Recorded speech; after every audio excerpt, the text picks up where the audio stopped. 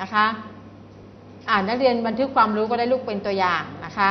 คุณครูไม่ได้จดทุกข้อลูกข้อนี้ก็จดไว้นะคะ ทักษะการทำงานเช่นข้อหนึ่งสำรวจและวิเคราะห์งาน ข้อหนึ่งงานบ้านที่ต้องทำคือทำความสะอาดห้องน้ำ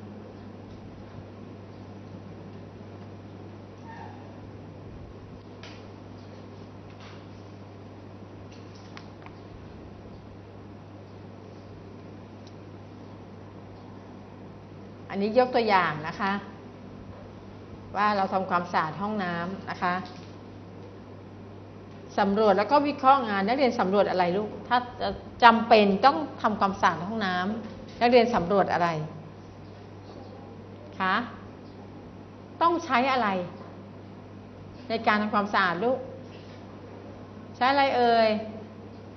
เอ๊ะไม่มีเสียงตอบเลย มีกี่คนห้องนี้คะ สำรวจอุปกรณ์ที่ใช้นะคะ มีอะไรบ้างนะคะบันทึกความรู้นะคะ เมื่อสำรวจแล้วนะคะมาดู ข้อที่ 2 วัสดุอุปกรณ์ที่ใช้มีดังนี้นะคะ มีอะไรบ้างวัสดุที่ใช้คือน้ำยาทำความสะอาด แปรงขัดพื้นนะคะ เขียนไปด้วย แปรงขัดโถส้วม ใช้ถุงมือยางนะคะ ขันน้ำไม้กวาดทางมะพร้าวห้องน้ำบางบ้านนะคะ ที่เป็นพื้นปูนนะคะ ห้องน้ำตามบ้านบางหลังนะคะ บางแห่งที่ไม่ได้ปูกระเบื้อง ก็ใช้พื้นปูนนะคะ ปูนซีเมนต์นะคะ เราก็ใช้อุปกรณ์เหล่านี้พร้อมทั้ง มีไม้กวาดทางมะพร้าวสำหรับกวาดน้ำนะคะ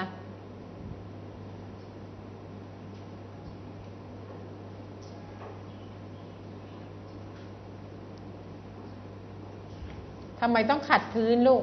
เพราะถ้าไม่ขัดพื้นเป็นไง จะลื่นสกปรกนะคะ ถ้าผู้ใหญ่อายุมากๆนะคะ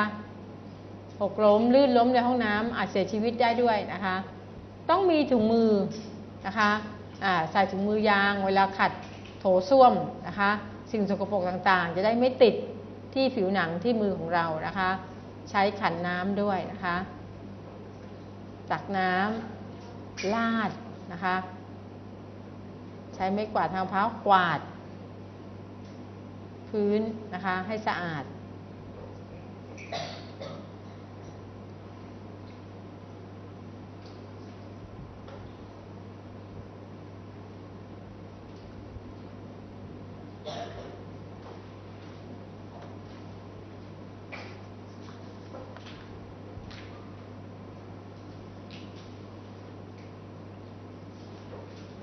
อุปกรณ์ที่ใช้แล้วนะคะ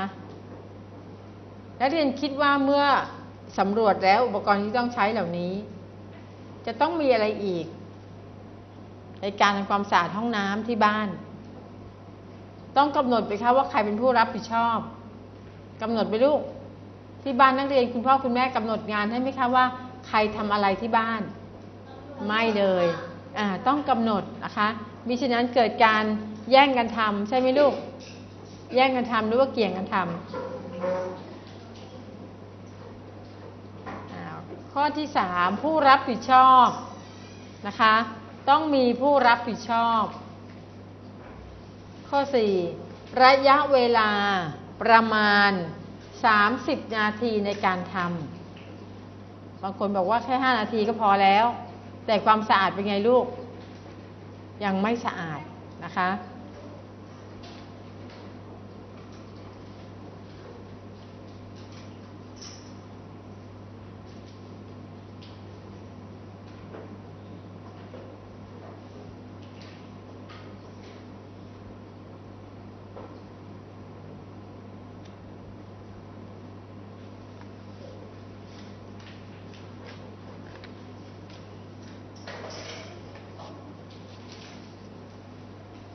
ค่ะคุณครูไปไวในลูกเดี๋ยวสไลด์เราไม่จบนะคะ ต่อเลยนะคะ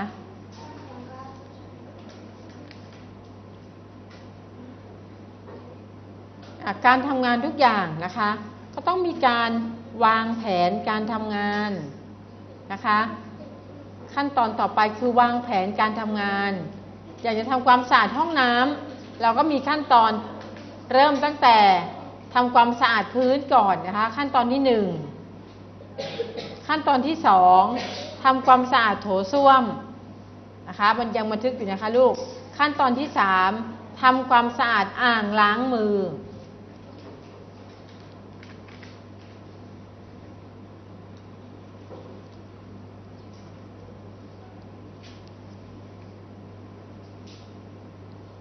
สองวางแผนการทำงาน ขั้นตอนที่หนึ่งทำความสะอาดพื้น นะคะที่ต้องทำแน่นอน ต้องขัดนะคะ ใช้แปรงขัดบริเวณพื้น แล้วก็ฝาผนังนะคะ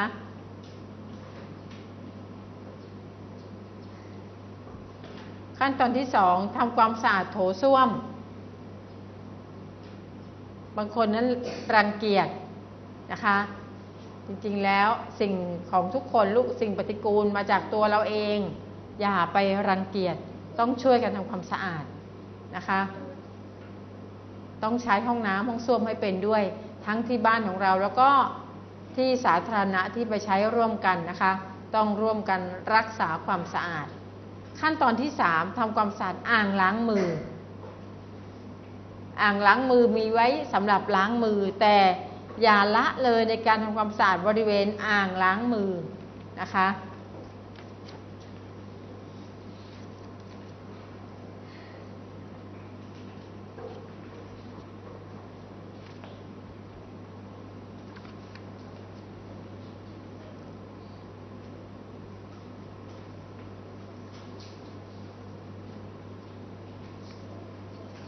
อ่าส ไลด์ต่อไปไม่ต้องจดนะคะ ทีนี้ในการทำนะคะก็มีข้อควรระวัง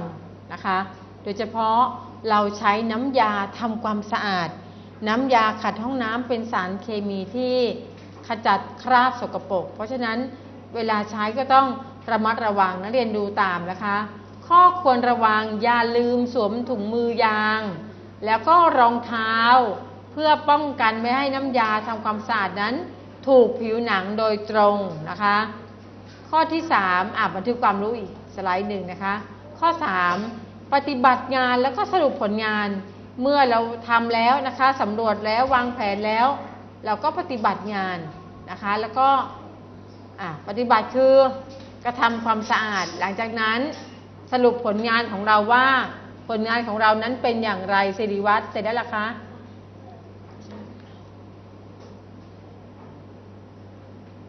นักเรียนจะเหม่อลอยนะลูกนะคะ ข้อ 3 ปฏิบัติงานและก็สรุปผลงาน นี่คือตัวอย่างของการทำความสะอาดห้องน้ำนะคะ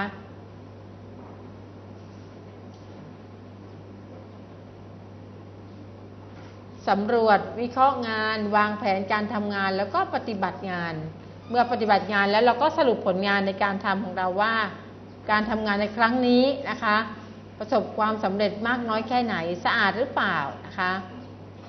ห้องน้ำห้องส้วมของเราที่ใช้นั้นเป็นอย่างไร ยังมีกลิ่นสกปรกหรือไม่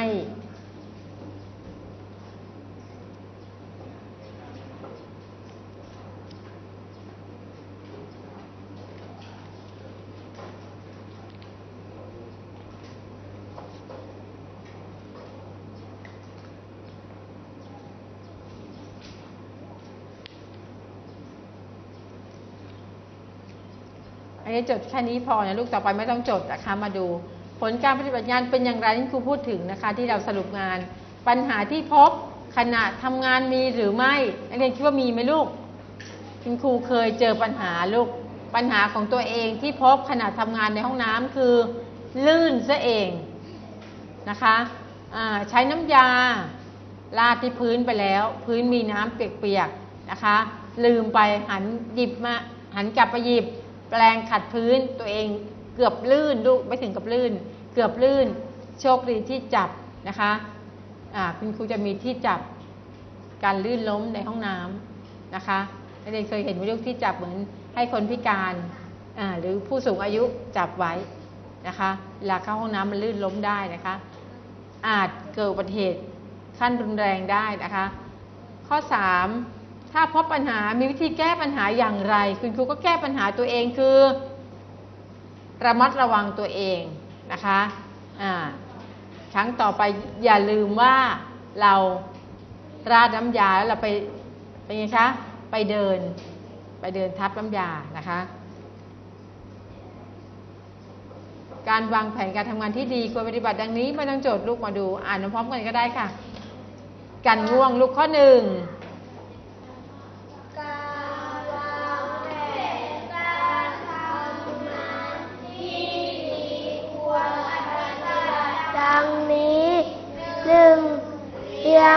ำดับความสำคัญของงานที่ต้องทำวางงานใครควรทำออกต่างหลังอ่าเรียงลำดับการทำงานว่าควรทำอะไรก่อนอะไรหลังนะคะ ข้อ2ค่ะสองระบุเวลาผู้รับผิดชอบงานและหน้าที่ที่ต้องทำอ่าสามแผน